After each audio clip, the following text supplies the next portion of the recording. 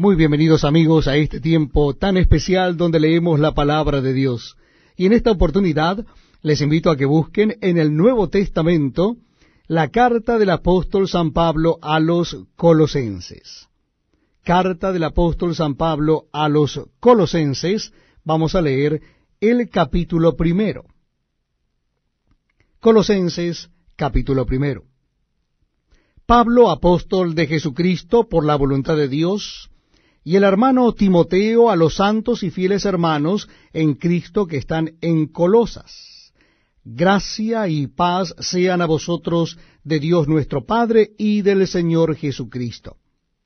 Siempre orando por vosotros, damos gracias a Dios, Padre de nuestro Señor Jesucristo, habiendo oído de vuestra fe en Cristo Jesús y del amor que tenéis a todos los santos, a causa de la esperanza que os está guardada en los cielos, de la cual ya habéis oído por la palabra verdadera del Evangelio, que ha llegado hasta vosotros, así como a todo el mundo, y lleva fruto y crece también en vosotros, desde el día que oísteis y conocisteis la gracia de Dios en verdad, como lo habéis aprendido de Epafras, nuestro consiervo amado, que es un fiel ministro de Cristo para vosotros, quien también nos ha declarado vuestro amor en el Espíritu.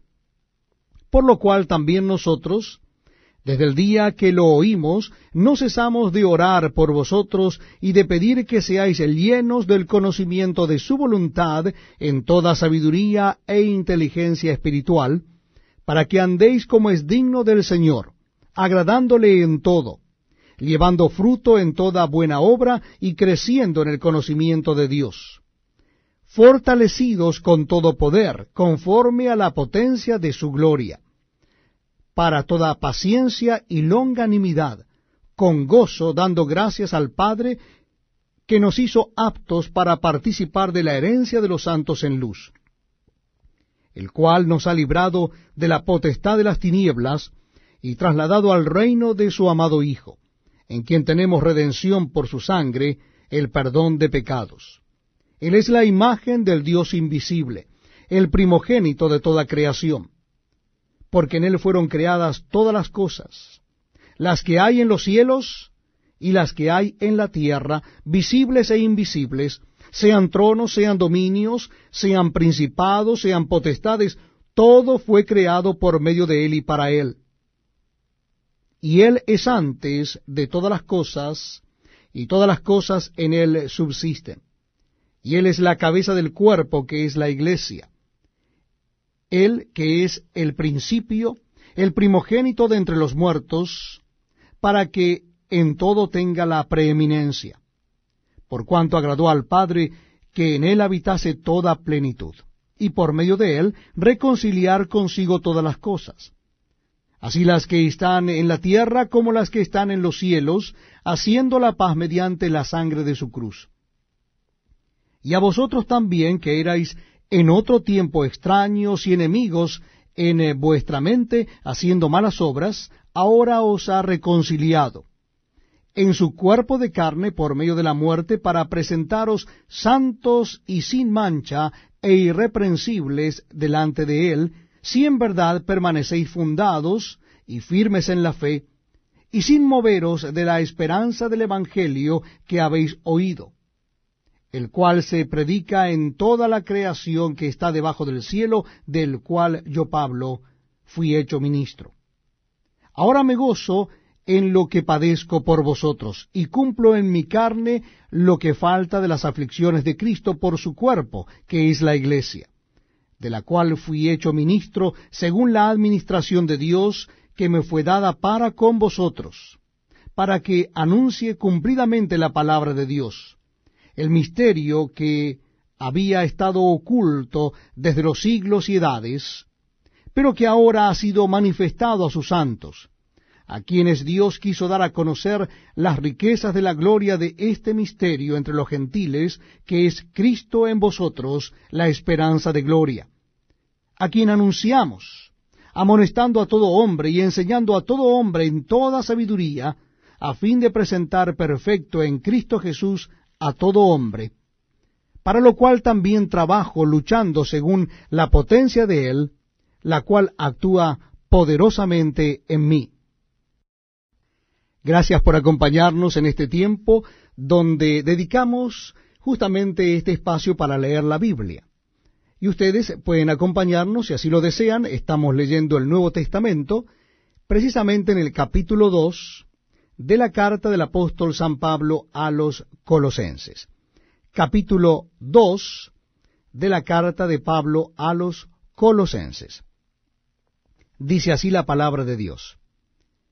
Porque quiero que sepáis cuán gran lucha sostengo por vosotros y por los que están en la Odisea, y por todos los que nunca han visto mi rostro, para que sean consolados sus corazones, unidos en amor, hasta alcanzar todas las riquezas de pleno entendimiento, a fin de conocer el misterio de Dios el Padre y de Cristo, en quien están escondidos todos los tesoros de la sabiduría y del conocimiento. Y esto lo digo para que nadie os engañe con palabras persuasivas porque aunque estoy ausente en cuerpo, no obstante en espíritu estoy con vosotros, gozándome y mirando vuestro buen orden y la firmeza de vuestra fe en Cristo. Por tanto, de la manera que habéis recibido al Señor Jesucristo, andad en él, arraigados y sobreedificados en él, y confirmados en la fe, así como habéis sido enseñados abundando en acciones de gracias. Mirad que nadie os engañe por medio de filosofías y huecas sutilezas, según las tradiciones de los hombres, conforme a los rudimentos del mundo y no según Cristo. Porque en él habita corporalmente toda la plenitud de la deidad, y vosotros estáis completos en él, que es la cabeza de todo principado y potestad. En él también fuisteis circuncidados con circuncisión no hecha a mano, al echar de vosotros el cuerpo pecaminoso carnal en la circuncisión de Cristo, sepultados con él en el bautismo, en el cual fuisteis también resucitados con él mediante la fe en el poder de Dios que le levantó de los muertos. Y a vosotros, estando muertos en pecados y en la incircuncisión de vuestra carne, os dio vida juntamente con él, perdonándoos todos los pecados anulando el acta de los decretos que había contra nosotros, que nos era contraria, quitándola del medio y clavándola en la cruz, y despojando a los principados y a las potestades, los exhibió públicamente, triunfando sobre ellos en la cruz. Por tanto, nadie os juzgue en comida o en bebida, o en cuanto a días de fiesta, luna nueva o días de reposo todo lo cual es sombra de lo que ha de venir. Pero el cuerpo es de Cristo. Nadie os prive de vuestro premio, afectando humildad y culto a los ángeles, entremetiéndose en lo que no ha visto, vanamente hinchado por su propia mente carnal, y no haciéndose de la cabeza, en virtud de quien todo el cuerpo, nutriéndose y uniéndose por las coyunturas y ligamentos, crece con el crecimiento que da Dios. Pues si habéis muerto con Cristo en cuanto a los rudimentos del mundo, ¿por qué, como si vivieseis en el mundo, os sometéis a preceptos tales como no manejes, ni gustes, ni aun toques? en conformidad a mandamientos y doctrinas de hombres, cosas que todas se destruyen con el uso. Tales cosas tienen a la verdad cierta reputación de sabiduría en culto voluntario, en humildad y en duro trato del cuerpo, pero no tienen valor alguno contra los apetitos de la carne. Libro de Salmos, Salmo número 71. En ti, oh Jehová, me he refugiado. No sea yo avergonzado jamás. Socórreme y líbrame en tu justicia. Inclina tu oído y sálvame.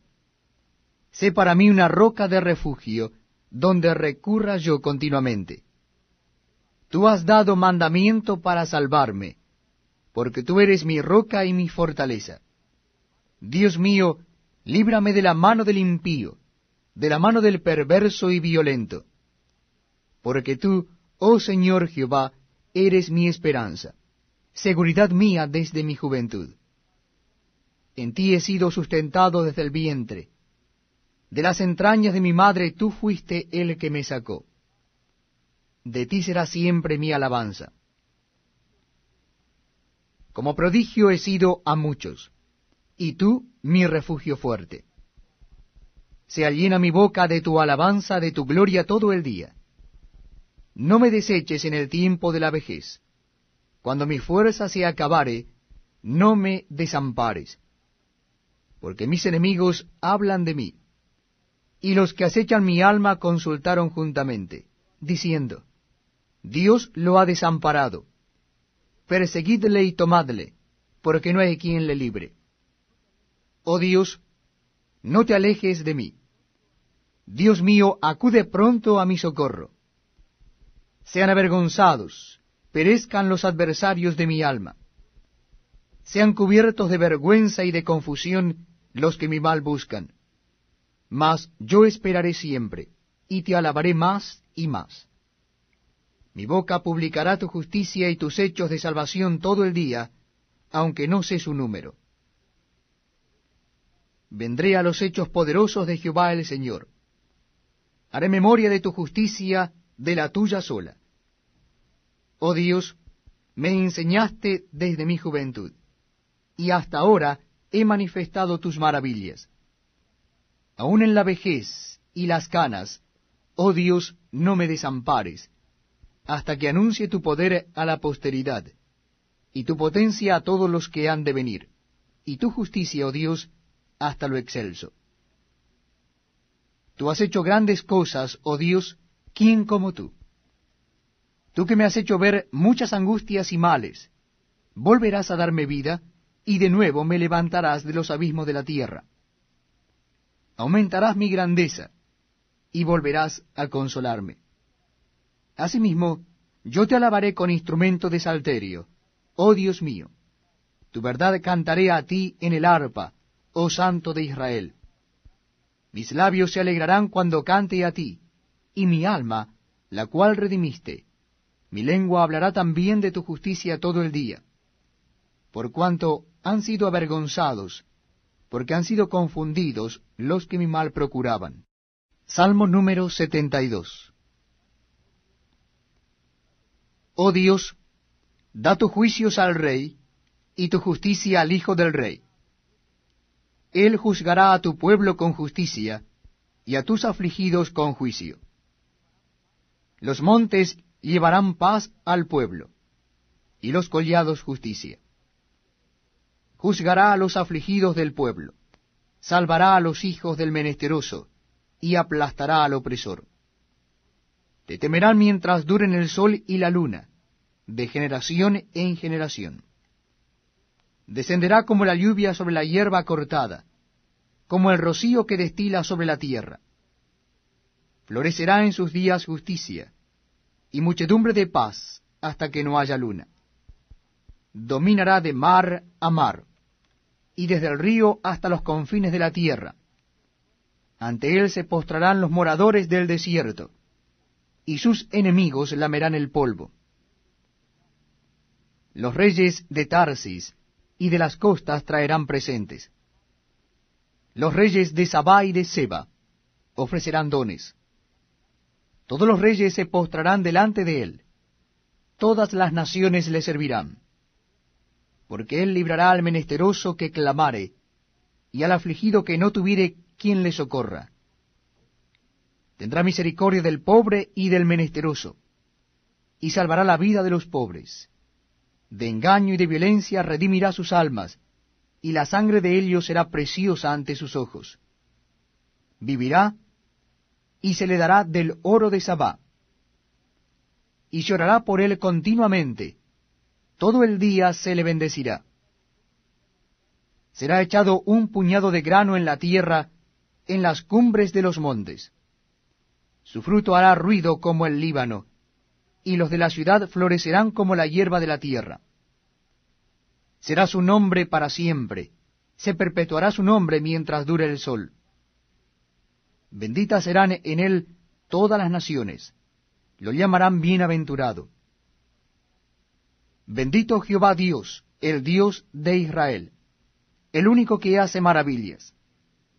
Bendito su nombre glorioso para siempre, y toda la tierra sea llena de su gloria. Amén y amén. Aquí terminan las oraciones de David, hijo de Isaí. Libro de Salmos, Salmo número 73. Ciertamente es bueno Dios para con Israel, para con los limpios de corazón. En cuanto a mí, casi se deslizaron mis pies. Por poco resbalaron mis pasos, porque tuve envidia de los arrogantes, viendo la prosperidad de los impíos. Porque no tienen congojas por su muerte, pues su vigor está entero. No pasan trabajos como los otros mortales, ni son azotados como los demás hombres. Por tanto la soberbia los corona, se cubren de vestido de violencia, los ojos se les saltan de gordura, logran con creces los antojos del corazón. Se mofan y hablan con maldad de hacer violencia, hablan con altanería, ponen su boca contra el cielo y su lengua pasea la tierra. Por eso Dios hará volver a su pueblo aquí, y aguas en abundancia serán extraídas para ellos. Y dicen, ¿cómo sabe Dios? Y hay conocimiento en el Altísimo. He aquí estos impíos, sin ser turbados del mundo, alcanzaron riquezas. Verdaderamente en vano he limpiado mi corazón y lavado mis manos en inocencia pues he sido azotado todo el día y castigado todas las mañanas. Si dijera yo, hablaré como ellos, he aquí a la generación de tus hijos engañaría. Cuando pensé para saber esto, fue duro trabajo para mí, hasta que entrando en el santuario de Dios, comprendí el fin de ellos. Ciertamente los has puesto en deslizaderos, en asolamientos los harás caer. ¿Cómo han sido asolados de repente? Perecieron, se consumieron de terrores. Como sueño del que despierta, así, Señor, cuando despertares, menospreciarás su apariencia. Se llenó de amargura mi alma, y en mi corazón sentía punzadas. Tan torpe era yo que no entendía. Era como una bestia delante de ti. Con todo, yo siempre estuve contigo. Me tomaste de la mano derecha, me has guiado según tu consejo, y después me recibirás en gloria. ¿A quién tengo yo en los cielos sino a ti? Y fuera de ti nada deseo en la tierra. Mi carne y mi corazón desfallecen, mas la roca de mi corazón y mi porción es Dios para siempre. Porque, he aquí, los que se alejan de ti perecerán. Tú destruirás a todo aquel que de ti se aparta. Pero en cuanto a mí, el acercarme a Dios es el bien. He puesto en Jehová el Señor mi esperanza, para contar todas tus obras. Salmo número 74. ¿Por qué, oh Dios, nos has desechado para siempre? ¿Por qué se ha encendido tu furor contra las ovejas de tu prado? Acuérdate de tu congregación, la que adquiriste desde tiempos antiguos, la que redimiste para hacerla la tribu de tu herencia, este monte de Sión, donde has habitado. Dirige tus pasos a los asolamientos eternos, a todo el mal que el enemigo ha hecho en el santuario. Tus enemigos vociferan en medio de tus asambleas, han puesto sus divisas por señales, se parecen a los que levantan el hacha en medio de tupido bosque, y ahora con hachas y martillos han quebrado todas sus entalladuras. Han puesto a fuego tu santuario, han profanado el tabernáculo de tu nombre, echándolo a tierra. Dijeron en su corazón, destruyámoslos de una vez, han quemado todas las sinagogas de Dios en la tierra. No vemos ya nuestras señales. No hay más profeta, ni entre nosotros hay quien sepa hasta cuándo. ¿Hasta cuándo, oh Dios, nos afrentará el angustiador? ¿Ha de blasfemar el enemigo perpetuamente tu nombre? ¿Por qué retraes tu mano? ¿Por qué escondes tu diestra en tu seno? Pero Dios es mi rey desde tiempo antiguo, el que obra salvación en medio de la tierra. Dividiste el mar con tu poder, quebrantaste cabezas de monstruos en las aguas, magullaste las cabezas del leviatán, y lo diste por comida a los moradores del desierto. Abriste la fuente y el río, secaste ríos impetuosos. Tuyo es el día, tuya también es la noche. Tú estableciste la luna y el sol. Tú fijaste todos los términos de la tierra, el verano y el invierno tú los formaste. Acuérdate de esto, que el enemigo ha afrentado a Jehová, y pueblo insensato ha blasfemado tu nombre. No entregues a las fieras el alma de tu tórtola, y no olvides para siempre la congregación de tus afligidos.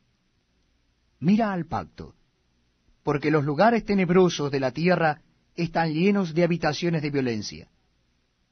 No vuelva avergonzado el abatido, el afligido y el menesteroso alabarán tu nombre. Levántate, oh Dios, aboga tu causa.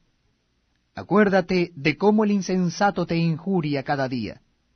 No olvides las voces de tus enemigos. El alboroto de los que se levantan contra ti sube continuamente. Libro de Salmos, Salmo número 75. Gracias te damos, oh Dios, gracias te damos, pues cercano está tu nombre.